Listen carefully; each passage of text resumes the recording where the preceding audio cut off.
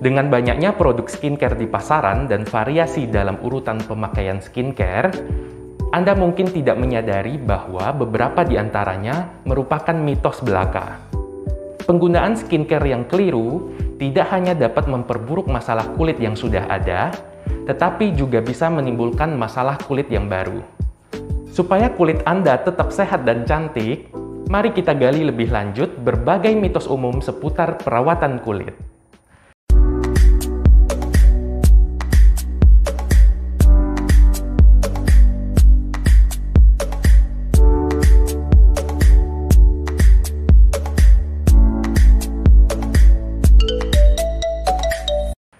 Halo, selamat datang di YouTube channel saya dalam acara Sehat dan Pintar bersama Dr. Jeffrey. Skincare memiliki banyak manfaat bagi kesehatan dan kecantikan kulit. Namun, benarkah produk skincare yang mahal itu lebih ampuh? Lalu, apakah ada produk yang betul-betul memberikan hasil yang instan? Nah, rupanya itu baru segelintir dari banyaknya mitos seputar perawatan kulit yang dipercaya oleh banyak orang. Nah, berikut mitos-mitos seputar produk dan rutinitas skincare yang perlu Anda ketahui. Mitos yang pertama adalah produk yang mahal sudah pasti lebih ampuh. Nah, satu hal yang biasanya membedakan produk murah dan mahal ialah kandungan zat aktif yang diklaim langka. Contohnya ada berbagai kandungan ekstrak herbal pada serum pelembab yang hanya ditemukan di negara tertentu atau memiliki hak paten dari merek terkait. Padahal kandungan zat aktif tersebut bisa jadi sangat kecil. Pada akhirnya, kandungan utama produk serum pelembab mahal tersebut mungkin tidak jauh dari asam hyaluronik, gliserin, ceramide, atau bahan pelembab lainnya. Kemudian mitos yang kedua, produk skincare bisa memberikan hasil instan. Nah, klaim bahwa suatu produk skincare bisa memberikan hasil instan juga termasuk mitos. Menurut studi dalam The Journal of Clinical and Aesthetic Dermatology, butuh waktu sekitar 6-20 minggu hingga Anda bisa melihat perubahannya pada kulit. Hal ini juga tergantung pada banyak faktor, seperti bahan aktif dalam produk tersebut, perubahan yang Anda harapkan, dan seberapa konsisten Anda dalam memakainya. Jadi, Anda perlu bersabar sedikit hingga produk bekerja secara optimal. Kemudian mitos yang ketiga, Tabir surya hanya perlu dipakai dalam cuaca yang terik. Sinar matahari dapat menyebabkan kerusakan kulit, mempercepat penuaan kulit, serta meningkatkan resiko kanker kulit. Nah, inilah mengapa Anda harus selalu menggunakan tabir surya, bahkan ketika cuaca tidak sedang terik sekalipun. Gunakan tabir surya sebanyak dua ruas jari sebelum Anda beraktivitas. Anda juga perlu mengoleskannya kembali setiap dua jam sekali, terutama jika Anda melakukan aktivitas di luar ruangan seperti berenang, piknik, atau olahraga. Lalu mitos yang keempat, tabir surya dengan SPF lebih tinggi adalah lebih baik. Nah, SPF atau Sun Protection Factor merupakan kemampuan suatu tabir surya untuk melindungi kulit dari sinar ultraviolet A ataupun B.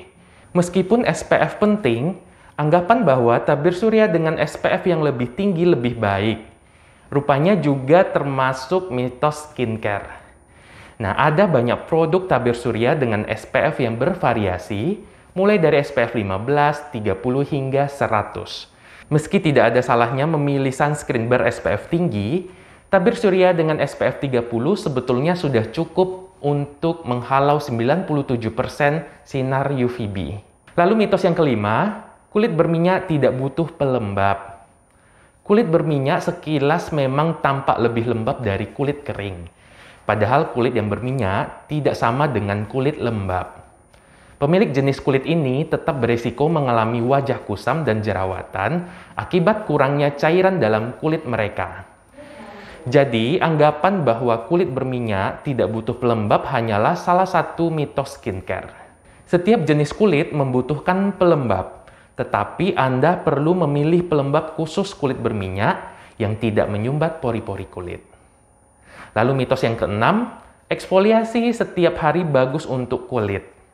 Nah, eksfoliasi membantu untuk mengelupaskan lapisan kulit mati sehingga kulit tampak lebih bersih dan cerah.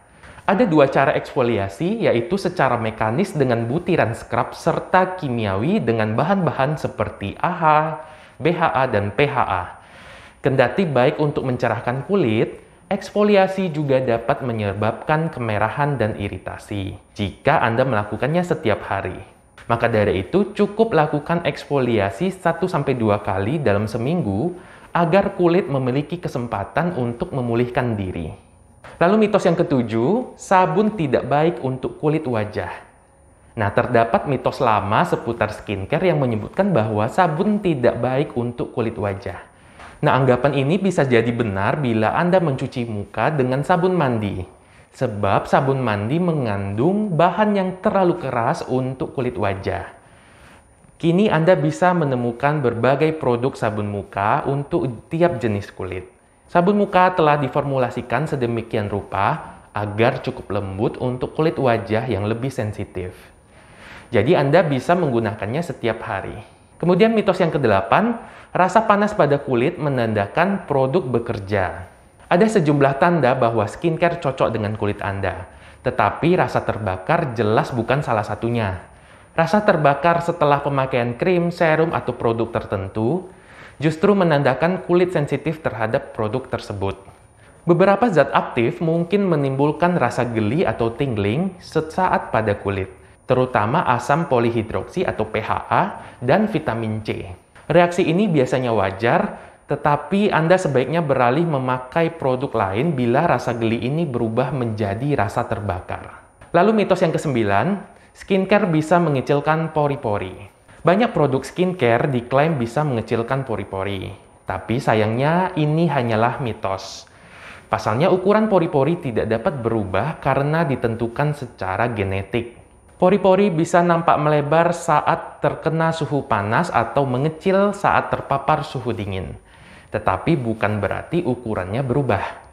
Suhu bisa membuka atau menyempitkan sedikit lubang pori-pori sehingga terlihat melebar atau menyusut. Hanya saja ini efek sementara. Pori-pori akan kembali ke ukuran semula saat suhu kulit menjadi normal. Kabar baiknya Anda dapat menyamarkan pori-pori dengan beberapa cara, yaitu mencuci muka dan eksfoliasi secara rutin, serta memakai produk non-komedogenik dan menggunakan serum-serum yang mengandung retinol. Ada begitu banyak variasi dalam jenis produk, pemakaian, hingga inovasi skincare yang bermunculan setiap hari. Terlebih lagi, skincare yang memberikan hasil yang berbeda-beda pada setiap orang. Tidak heran, mitos seputar produk perawatan kulit ini sangat beragam. Ketika menggunakan suatu produk skincare, kuncinya adalah mendengarkan kulit Anda. Jika kulit tidak menunjukkan perubahan atau mulai menunjukkan reaksi yang tidak wajar, ada baiknya Anda segera berkonsultasi kepada dokter. Nah, itulah informasi seputar mitos-mitos mengenai pemakaian skincare. Semoga informasi ini bermanfaat dan sampai jumpa di episode selanjutnya.